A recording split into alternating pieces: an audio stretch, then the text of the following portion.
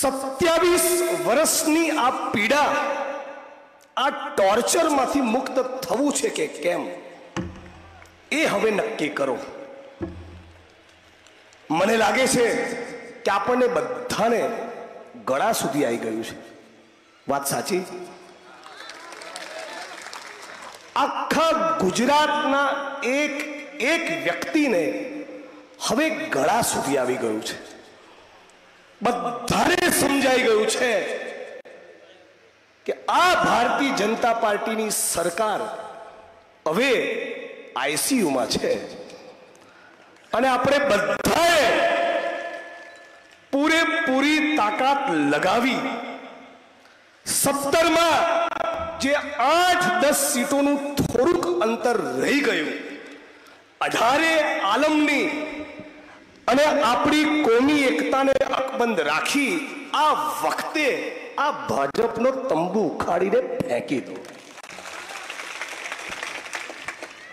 આજે સાથીઓ, આપણે બધા જ ગામડાના સામાન્ય પરિવારમાંથી આવતા લોકો બેઠા છીએ. આજે થોડોક સમય લઈને બોલીશ. કોઈ આપણે લખપતિ કરોડપતિના દીકરાઓ નથી. હું ફક્ત એટલો વિચાર કરું છું કે બે મિનિટ માટે દાખલા તરીકે સમજવા પૂરતું અમૃતજીભાઈ અને કોંગ્રેસ પાર્ટીને આપણે જરા સાઈડમાં મૂકી. એક તટસ્થ રીતે, હું તટસ્થ રીતે ગુજરાતના નાગરિક તરીકે વિચાર કરું છું કે જેણે આપણા તેલના ડબ્બા, ગેસના બાટલા, શાકભાજી કરિયાણું, પેટ્રોલ, ડીઝલ, ખાતર, જીવન જરૂરિયાતની એક એક વસ્તુ આટલી ભયંકર મોંઘી કરી ફરી જો એને ચૂંટીને લાવવાની કોઈ પણ વ્યક્તિ ભૂલ કરશે, તો એનો એક જ મતલબ કે આપણે આપણા પગ ઉપર કુહાડો મારી રહ્યા છીએ. સાથીઓ મારા વડગામમાં છેલ્લા ત્રણેક દિવસથી પ્રચારમાં જઈ રહ્યો છું. રાવણ, દલિત, ઠાકોર, દેવી પૂજક, ભીલ અને માજીરાણા આ ગરીબ સમાજની બહેનો સામે નજર કરું છું ત્યારે ફક્ત મત માગવાનું મન નથી થતું.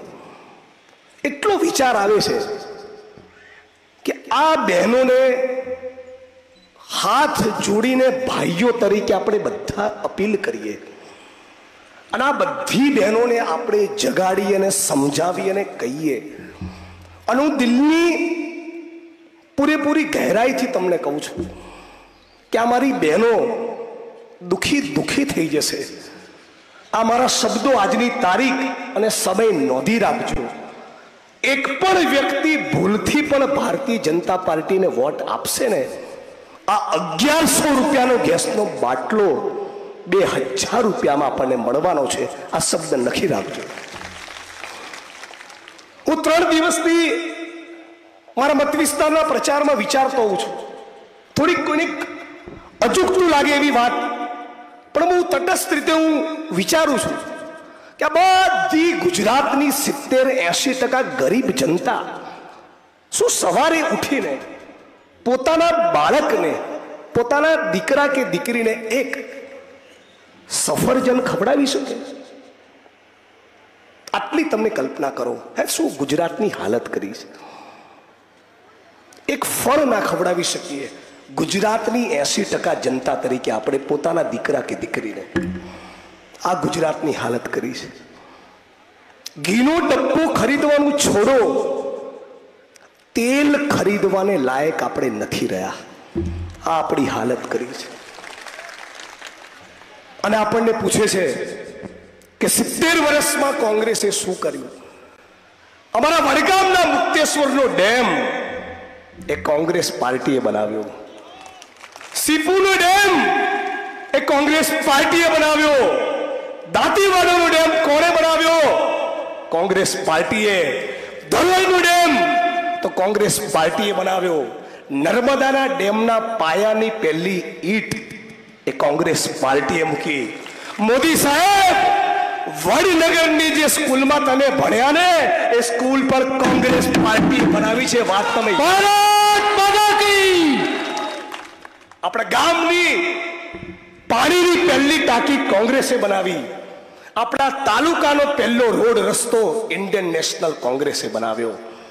આપણા તાલુકાની તાલુકા પંચાયતની કચેરી ગુજરાતના તેત્રીસ જિલ્લા નહીં, તેત્રીસ જિલ્લા પંચાયતોના મકાનો, જીબીની ઓફિસ, માર્ગ અને મકાન વિભાગની કચેરીઓ, પાણી પુરવઠાના મકાનો, તેત્રીસે તેત્રીસ જિલ્લાની કલેક્ટર કચેરીઓ, આ તમામે તમામે કોંગ્રેસ પાર્ટીએ નિર્માણ કરેલું છે.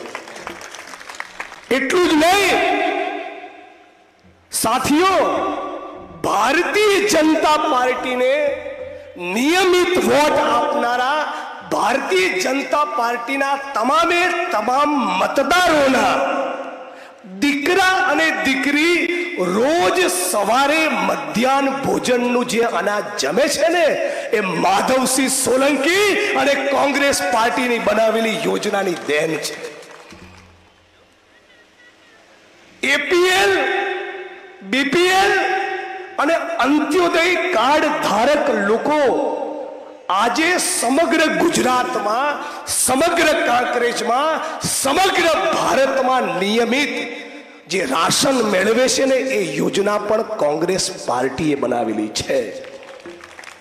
મારા કાંકરેજમાં, મારા બનાસકાંઠાને ગુજરાતમાં છેલ્લામાં છેલ્લો ગરીબ માણસ માથે છત મળે એના માટે જે સો ચોરસ વારના પ્લોટ છેલ્લા કેટલાય દાયકાઓથી મેળવી શક્યો છે ને, એ પણ કોંગ્રેસ પાર્ટીની દેન છે.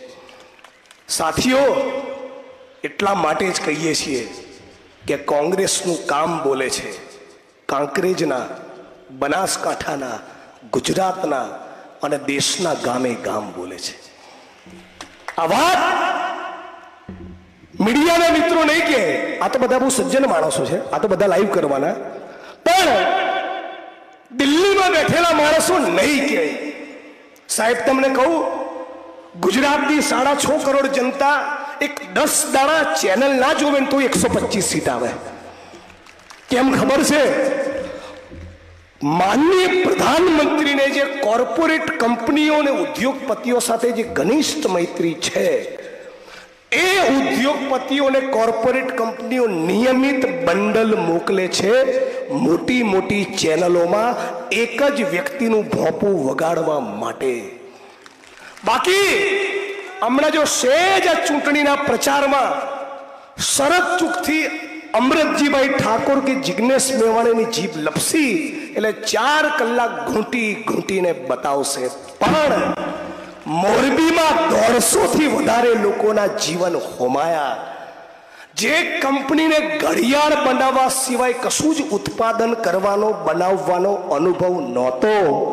ગાંધીનગરથી આવેલા ફોનના પગલે, ગાંધીનગરથી થયેલી લેતી દેતીના પગલે એક ચોક્કસ પ્રકારની કંપનીને કોન્ટ્રાક્ટ આપ્યો. એ કંપનીએ માર્યો લોચો.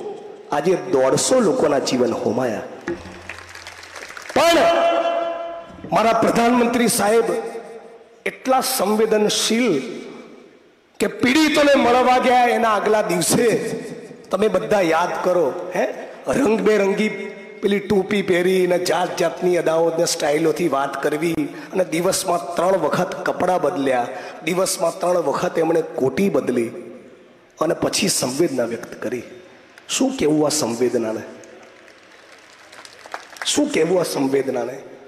અને કંપનીના માલિક સામે આજ દિન સુધીમાં ગુનો નોંધાયો નથી. મતલબ કે ગુજરાતમાં ભારતીય જનતા પાર્ટીની સરકારને ગરીબ માણસના જીવનની કોઈ વેલ્યુ નથી. અને એટલા માટે જ કોઈક અઢી અઢી હજાર રૂપિયામાં ઇન્સેન્ટિવ ઉપર કામ કરનારી કોઈક આશા વર્કર બેન કોઈ અમદાવાદના નરોડાની કેમિકલની ફેક્ટરીમાં ચૌદ કલાક વૈતરું કરનારા મજૂરનો દીકરો કે દીકરી એક ફક્ત તલાટી કે કોન્સ્ટેબલ બનવાનું સપનું લઈને બેઠો હોય અને એનું પેપર ફૂટી જાય. સાહેબ, પેપર એટલા માટે ફૂટ્યા પંદર, કેમ કે આ સરકાર ફૂટેલી છે વાત સમજી લેજો. આજે આપ સૌ કાંકરેજ વાસીઓને કહું કે ભારતીય જનતા પાર્ટીની સરકારે તમને ને મને બધાને કીધું તિરંગો લહેરાવજો. આના ચરિત્ર વિશે એક વાત કહેવા માંગુ છું. આમના કેરેક્ટર વિશે. ગુજરાતની એક દીકરી, બિલકિસ બાનો એ મારા માટે હિન્દુ નથી, મુસ્લિમ નથી, એ મારા માટે ભારતની દીકરી છે. મારા ગુજરાતની બેટી છે, મારી બેન છે. એ પેટથી હતી, પ્રેગ્નન્ટ હતી, ગર્ભવતી હતી. અને એ દીકરીની ઉપર અગિયાર નરાધમોએ સામૂહિક બળાત્કાર કર્યો. સાંભળો! આ તાળી પાડવાનો વિષય નથી મારા વડીલો ને યુવાનો. સાંભળો, આવનારી પેઢી આપણને સવાલ પૂછવી છે. આ ગર્ભવતી દીકરીની ઉપર અગિયાર નરાધમોએ બળાત્કાર કર્યો. એની આંખોની સામે દિવાલ ઉપર પછાડી એના ત્રણ વર્ષના બાળકને મારી નાખ્યું. બીજા છ વ્યક્તિના ખૂન કર્યા. આખો મામલો સર્વોચ્ચ અદાલત સુધી ગયો. સુપ્રીમ કોર્ટ ઓફ ઇન્ડિયાએ જજમેન્ટમાં લખ્યું કે છેલ્લો શ્વાસ ભરે ત્યાં સુધી આ તમામ હત્યારા, બળાત્કારીઓને આ જીવન કેદ પણ વારંવાર પ્રભુ શ્રી રામનું નામ લેનારા નરેન્દ્રભાઈ અને ભાજપની સરકારનું એવું ચરિત્ર અગિયારે અગિયાર બળાત્કારીઓને છોડી મૂક્યા. જેલના જાપે ભાજપના હોદ્દેદારો, કાર્યકરો એમને લેવા ગયા. સ્વાગત કર્યું, સન્માન કર્યું, ઢોલ વગાડ્યો, અબીલ ગુલાલ ઉડાડ્યા, મીઠાઈ ખવડાવી અને એવું કીધું કે આમના સંસ્કારો સારા હતા, એટલા માટે છોડીએ છીએ. ધિક્કાર છે આ લોકો ઉપર. આ ગુજરાત રવિશંકર મહારાજનું આ ઇન્દુલાલ યાજ્ઞિકનું ગુજરાત, આ સરદાર વલ્લભભાઈ પટેલનું ગુજરાત, આ ડોક્ટર બાબા સાહેબ આંબેડકરનો દેશ, ત્રેવીસ વર્ષની ઉંમરે ભગતસિંહ ફાંસી ચડ્યા. આ દિવસ જોવા માટે, આ દિવસ જોવા માટે. હે ભારતીય જનતા પાર્ટીના મતદારો, તમે પણ મારા જ ગુજરાતના ભાઈઓ છો. તમારું બાળક જ્યારે અઢાર, વીસ, બાવીસ વર્ષનું થશે ને, ત્યારે તમને સવાલ પૂછશે. કે પપ્પા, આ ભારતીય જનતા પાર્ટીની સરકાર બળાત્કારીઓને જેલમાંથી છોડી મીઠાઈ ખવડાવીને જ્યારે એવું કહેતી હતી કે આમના સંસ્કાર સારા હતા, પપ્પા, ત્યારે તમને શરમ ના બી વોટ આપતા? આ આપણી આવનારી પેઢી કહેવાની છે. એક નહીં, બે નહીં, પંદર પરીક્ષાના પેપર લીક થયા. ત્યારે પણ નરેન્દ્રભાઈ એવી ખાતરી આપવા તૈયાર નહોતા કે ભવિષ્યમાં એક પેપર લીક થવા નહીં દઉં. છતાં તમે ભાજપને વોટ આપતા હતા. થોડીક તમને યુવાનોના ભવિષ્યની ચિંતા ના થઈ. આવનારી પેઢી આ સવાલ પૂછવાની છે. બે લાખ કરોડનું ડ્રગ્સ મોટી સંખ્યામાં મારી આંખ સામે વડીલો બેઠા છે. કદાચ ના સમજાતું તો તમને કહું, નશીલા પદાર્થો. આખી ગુજરાતનું બજેટ ગુજરાતની વિધાનસભામાં જે બજેટ પસાર થાય, જુદી જુદી યોજનાઓ અને નીતિને લાગુ કરવા, અઢી લાખ કરોડનું બજેટ હોય એક રાજ્યને ચલાવવા માટે. અને ડ્રગ્સ પકડાયું, નશીલા પદાર્થો પકડાય, કેટલાના? બે લાખ કરોડ રૂપિયાના. અને સાહેબો એ યુવાન મિત્રો, જરા સમજજો. સોમ, મંગળ, બુધ અને ગુરુ ચાર દિવસ કોઈ આ ડ્રગ્સનું કેમિકલના નશીલા પદાર્થોનું સેવન કરે ને, તો પાંચમા દિવસે એને એવી તલબ થાય કે પોતાના ઘરની પોતાની જનેતાની ચેન કે દોરો તોડીને પણ ડ્રગ્સ ખરીદવા જાય. આવા આ ગુજરાતમાં બે લાખ કરોડના ડ્રગ્સ ઉતર્યા છે. એના સૂત્રધારોને પકડવાનું તો છોડો. પ્રધાનમંત્રી અને ભાજપના મુખ્યમંત્રી યુવાનોને એવી અપીલ કરવા તૈયાર નથી કે પ્લીઝ મહેરબાની કરીને આ નશાની ચુંગાલમાં ના પડતા. એવી અપીલ કરવા તૈયાર નથી. શું બાકી રહ્યું આ ગુજરાતમાં? આમના સત્યાવીસ વર્ષના પાપ ગણાવવા જઈએ ને, તો રાત પડી જાય. હે મારા કાંકરેજના ભાઈ બહેનો આપ સૌને બે હાથ જોડીને વિનંતી અને અપીલ કરવા આવ્યો છું કે આ ચૂંટણી ફક્ત અમૃતજીભાઈ ઠાકોરને જીતાડવા માટેની નથી, તમારે તમને પોતાને જીતાડવા માટે આ ચૂંટણી લડવાની છે. તમને જો લાગતું હોય કે તમારે આ બેરોજગારી, લૂંટ, મોંઘવારી અને દમનમાંથી મુક્ત થવું છે અને સાચા અર્થમાં પરિવર્તન જોઈએ છે માધવસિંહ સોલંકી, અમરસિંહભાઈ ચિમનભાઈના જમાનાની કોંગ્રેસમાં જે ઉજળા કામો થયા. કોંગ્રેસ પાર્ટીએ વચન આપ્યું કે ત્રણ હજાર ઇંગ્લિશ મીડિયમની સ્કૂલ બનાવીશું. કોઈકને સવાલ થાય કે શું ગેરંટી? ગેરંટી એ કે આજે ગુજરાતમાં જેટલા પણ આંગણવાડીના કેન્દ્રો છે, જેટલી પણ સ્કૂલો છે જેટલી પણ કોલેજ છે, જેટલી પણ યુનિવર્સિટીઝ છે, એમાંની એસી ટકાથી વધારેનું નિર્માણ એ કોંગ્રેસ પાર્ટીએ કરેલું છે. એટલા માટે કહીએ છીએ કે ત્રણ હજાર ઇંગ્લિશ મીડિયમની સ્કૂલ બનાવીશું. એટલે સાથીઓ, મારી વાત પૂરી કરતા પહેલા એટલું જ કહીશ. દૂધનું દૂધ અને પાણીનું પાણી થયેલું છે. નક્કી તમારે કરવાનું છે. એક અગિયારસો રૂપિયામાં ગેસનો બાટલો જોઈતો હોય તો ભાજપને વોટ આપો. અને રાહુલ ગાંધીના વચન પ્રમાણે પાંચસો રૂપિયામાં ગેસનો બાટલો જોઈતો હોય તો કોંગ્રેસ પાર્ટીને વોટ આપો. ઉદ્યોગપતિ અને કોર્પોરેટ કંપનીઓના દેવા માફ કરવા હોય તો જાઓ ભાજપને વોટ આપો.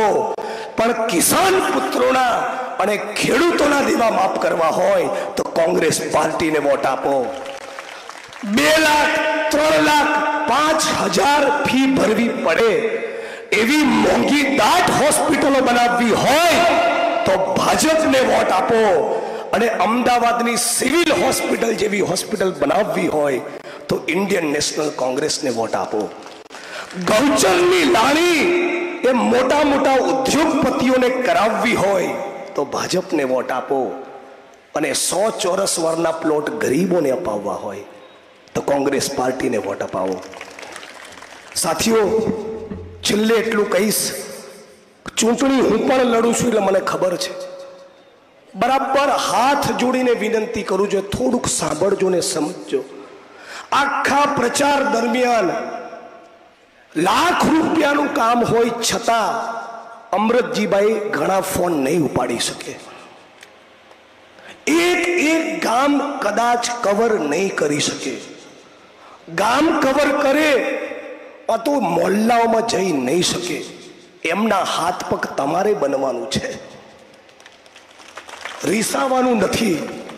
એમને મજબૂત આપણે કરવાના છે. હું યુવાનોને અપીલ કરવા આવ્યો છું. હું દલિત સમાજના ભાઈઓને અપીલ કરવા આવ્યો છું. સાથીઓ, એટલું તો ડંકાની ચોટ ઉપર કહીશ. ગૌરવપૂર્વક કહું છું, અમુક માણસો પાંચ કરોડમાં વેચાયા. કોઈક દસ કરોડમાં વેચાયું, કોઈ પંદર કરોડમાં વેચાયું. પણ આજે પણ કોંગ્રેસ પાર્ટીના સાહીઠ વિરલાઓએ પોતાનું ઈમાન ડગવા દીધું નથી. મીડિયાના લોકોએ એ તો કહી દીધું કે સત્યાવીસ વર્ષથી કોંગ્રેસની સરકાર બનતી નથી. હવે એ પણ કહો કે છતાં સત્યાવીસ વર્ષથી કોંગ્રેસનો એક એક કાર્યકર્તા બૂથ ઉપર ટકેલો છે. આ વાત પણ કહેવાની જરૂર છે. સાથીઓ, આ પંજો દલિત, આદિવાસી, ઓબીસી, માઇનોરિટી અને જનરલ સર્વ સમાજને સાથે લઈને ચાલનારો પંજો છે. કહેતા હતા કે રાજાનો કુંવર છે રાહુલ ગાંધી તો એ માણસ પગમાં છાલા પડવાની તૈયારી સાથે રોજના પચીસ કિલોમીટરના હિસાબે પંદરસોથી બે હજાર કિલોમીટરનું અંતર કાપી ચૂક્યો છે. અને જે માણસ એવું કહેતો હતો હું તો સામાન્ય ઘરમાંથી આવતો તો ચા વેચનારો છું. એ આઠ હજાર કરોડના વિમાનમાં ફરે છે. આ અંતર સમજી લેવાનું છે. દલિત સમાજના યુવાનોને ભાઈઓને કહું કે તમારું અંતર તમારું હૃદય કહેતું હોય કે ગરીબોની, દલિતોની, વંચિતોની લડાઈ જિજ્ઞેશભાઈ ઈમાનદારીથી લડ્યા છે, તો પ્લીઝ કાંકરેજમાં મેં ફોર્મ ભર્યું હોય એવી મહેનત કરજો. મારા માટે હાથ જોડીને ભીખ માગીને પણ કોઈક અપક્ષમાં રહ્યું હોય, તેને સમજાવજો કે દોસ્ત, ડૉક્ટર બાબા સાહેબ આંબેડકરના બંધારણને બચાવવું છે, તો અમૃતજીભાઈ અને કોંગ્રેસને જીતાડવા પડશે. આપ સૌ આટલી મોટી સંખ્યામાં ઉપસ્થિત રહ્યા, આપ સૌનો ખૂબ ખૂબ આભાર માનું છું. આપણે બધા સાથે મળીને ફકર અમૃતજીભાઈને નહીં આખા બનાસકાંઠાને જીતાડીએ ગુજરાતને જીતાડીએ અને સંકલ્પ કરીએ કે બે હજાર બાવીસ રંગે ચંગે કોંગ્રેસ લાવીશ. હું આપને નારો લગાવું છું મારી સાથે સૂર પુરાવજો અને એ સાથે મારી વાણીને વિરામ આપીશ. અને હજ હજળ બમ બોલજો હો ગાંધીનગર જવો જોઈએ અવાજ. બે હજાર બાવીસ! મેં કીધું તને ઢીલું ઢસ બોલ્યા.